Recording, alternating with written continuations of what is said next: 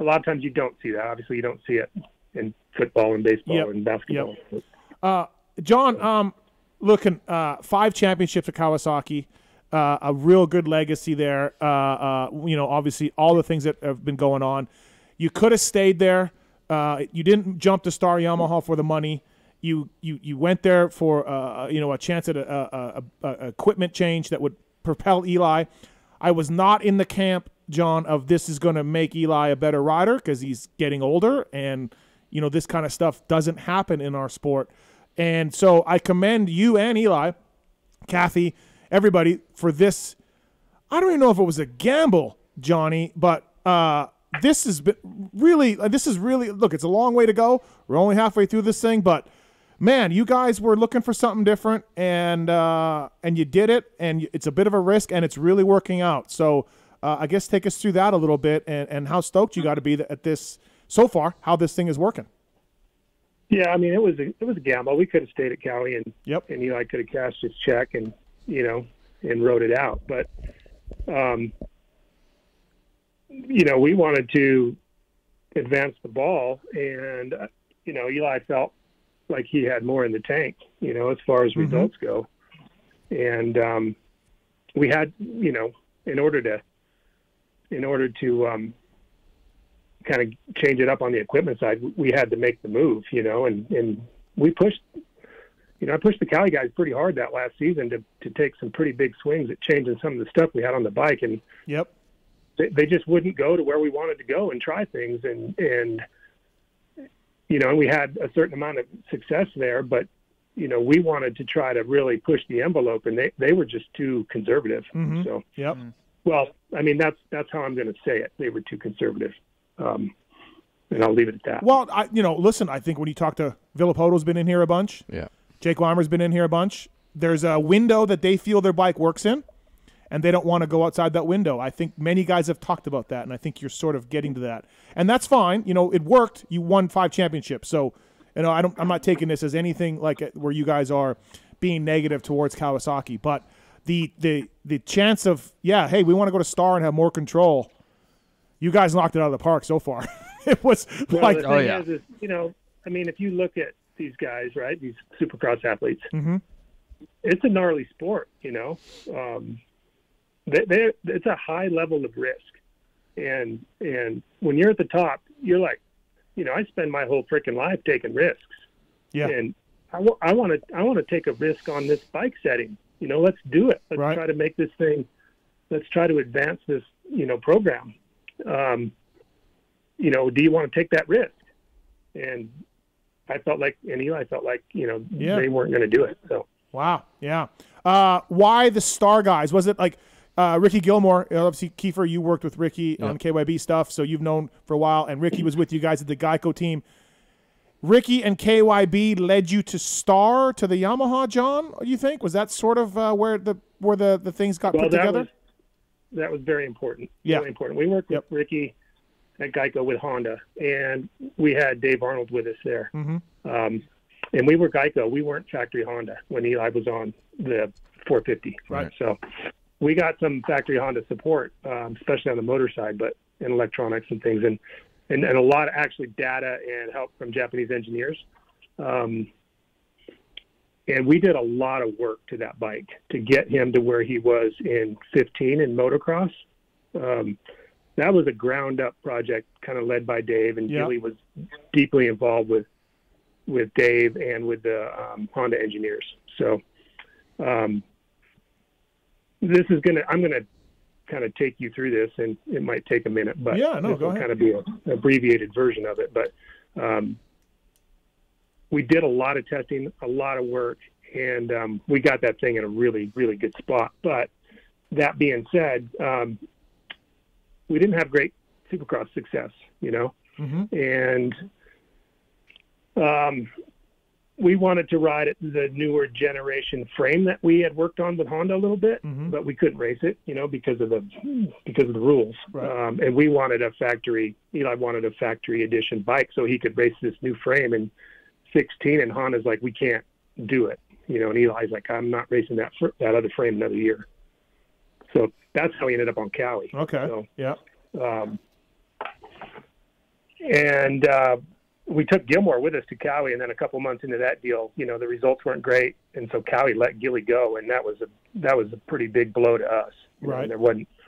I mean, we could have jumped up and down and thrown a fit, but at that point, it's. I don't know. We felt like we kind of needed to take it on the chin for the team and and see if it would work out. And Mhm. the thing with Gilmore and Eli is they have a special communication, and when Eli says something about the motorcycle, Gilly knows what he's what Eli's talking about, like, and he knows how to. If Eli tells him it's doing this, Gilmore knows in his brain what he needs to do to the fork or to the shock or to the bike to to deal with that Right. particular, you know, issue on the motorcycle. So we lost that, you know. Yep.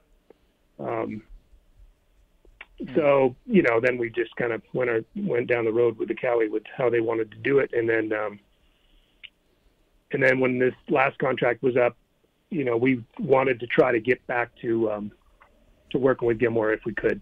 So Yeah. and uh, he was working with the Yamaha, and you guys, I think it was pretty apparent how much progress he was making with the Yamaha Yeah. Oh, yeah. Yeah. uh, you know. So I think he proved, you know, his value there. And but we already knew he had it in him. He just, you know, hadn't been in the program that allowed him to have that success yet. So Um, yeah. And you got to feel vindicated. Absolutely. Yeah. Uh, go ahead, Keefer. Uh, just going on what John said, it makes me feel really happy inside when I hear John talk about. Um, there's a certain connection when you when I I've been testing many many years. Right.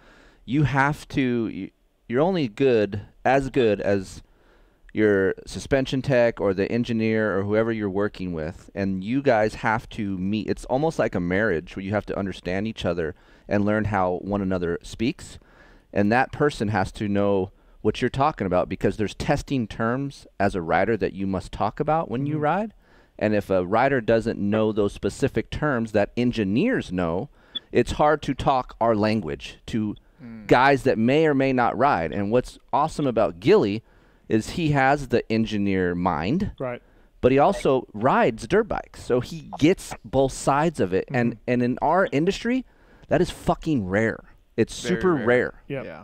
So to have someone like Gilly and Eli bond and do that, it's it's very hard to keep that through your whole career. So it's nice that they found each other. Yeah. Yeah. It's uh. yeah, I mean, Yeah, go ahead, and John. Gilly's ridden out here, you know, with us at our place, and he actually was Eli's practice mechanic for a little while, and then um, and then he started working with uh, Geico after that. Right. So. And and even having said that about Kawasaki, look at Jason right now. He's riding. He went to Kawasaki and he's riding better than he has in years too. So he has felt the new people over there, and He could gel with someone and- over there. Yeah, like- somebody over exactly. there is, is working well with Jason, right? Yes. So it's it's There's a uh, human yeah. element Yeah. involved in all of this, Right, right? right. So Uh, Well, the other okay. thing too is certain. You know, there's riders that Eli has a very unique style. Like nobody, nobody's going to be harder on the throttle than him. Yeah. And nobody's going to be harder on the brakes than Eli. So, from a perspective of a tuner, when Eli comes on board, they've never seen what he does from any other rider. yeah, Yeah. it's a good point. We had the Japanese engineer out here one time, and they they had a throttle sensor on there, and he, he's like, "Okay, let's go do some moto laps." and the guy comes back to the shop, downloads the the data, and he's like, "Oh my god!" And we're like, "What's up?" And he's like, "Oh, 90 percent wide open, whole lap. Never seen this before."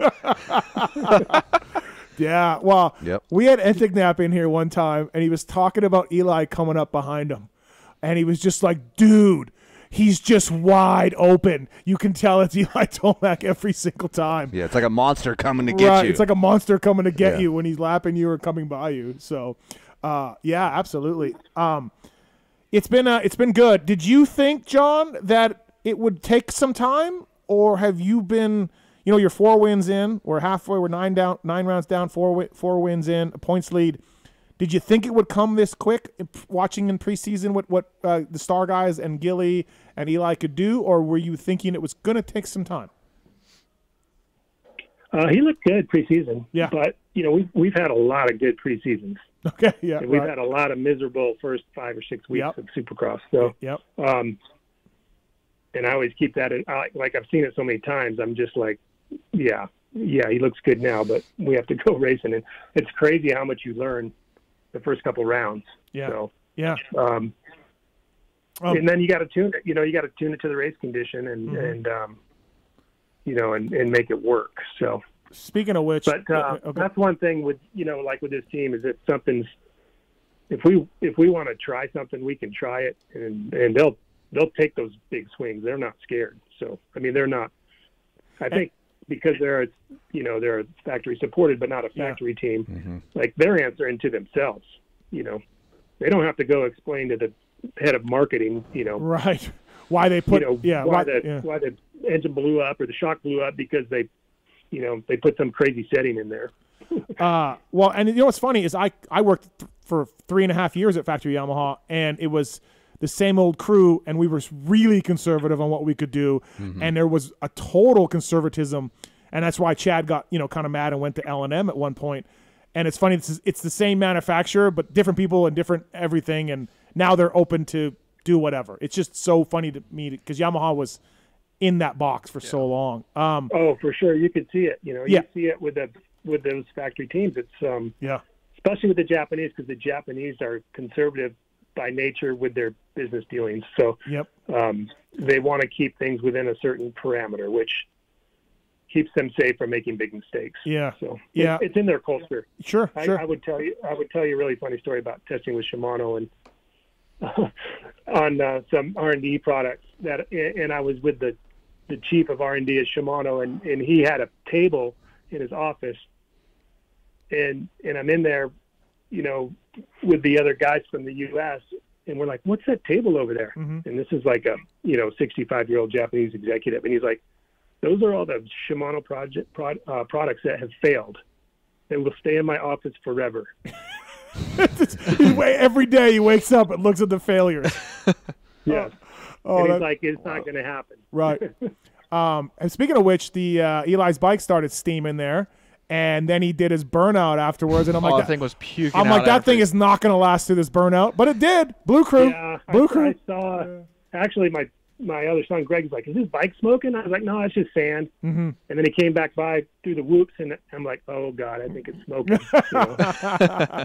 oh But yeah, then, uh, you know, the guys on the radio are like, "No, it's it's water. It's no problem. It'll Yeah. make it easy." You know. Mhm, yeah. So w- once they said that, I was like, "Yeah, it's good." But we've had really, really good luck um, with our new clutch system. So. Um, yeah, Cable. That's, that's another thing with Eli. He uses the clutch and he, he uses it as a tool. Um, The- And a lot of guys don't use a clutch as a tool anymore. Eli's one of the few guys left that will use the clutch to control the motorcycle a lot of the time.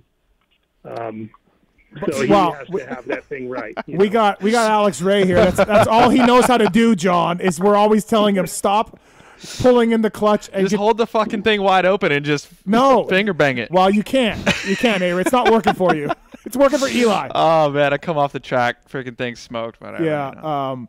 my dad would always put an extra steel in the middle of my clutch because I'd go through clutches so right. much. Oh, But bet. we we didn't we didn't have enough money growing up. You know, I mean, I raced. I grew up in Eli's class. I raced like a lot of the amateur stuff with Eli. But like, my dad would always just put a steel, like a steel plate right in the Yeah. middle to just tighten Well, everything up, what- just tighten her down. Yeah, you're what- good to go for another bit. what John just said doesn't help our case, John, because we've been telling Alex for years. Please let your clutch out. Your bike is you're blowing up your bike, hey Ray. But Nah. So, so now now he's gonna keep Well, doing it, Oh John. yeah, I'm, I'm doing the same thing Eli's doing. You know. I'm hey, we're using it as a tool. Right. Go ahead, John. You can abuse it or you can use it properly. So Yeah.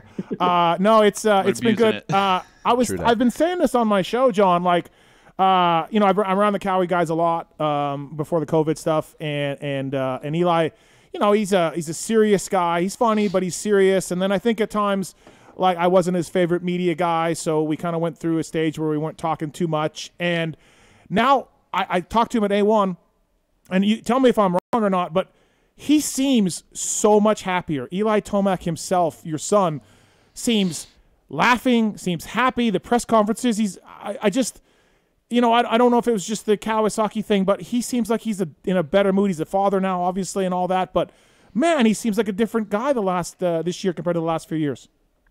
yeah, he's definitely happier. Yep. I mean, I, I just think he was really frustrated. Um, you know, and it, with the bike a lot of times. Right, right. Before. So, Yeah, he like, seems. if, uh, if you feel like you're like something is limiting you and you can't and you can't improve yourself Mhm. um, because of it, and you're in his position, it can be incredibly frustrating. Incredibly frustrating. Right.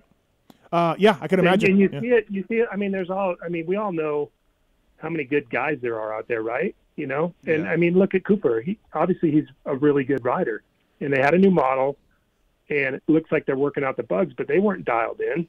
And you don't think that dude's frustrated because Mhm. his bike's not working Mhm. the way he wants it to work? It's. I mean, it happens. Yep. So No, absolutely, you're right. Well, we got some phone calls for you here. Uh, John Tomac brought to you by the folks at Scotia.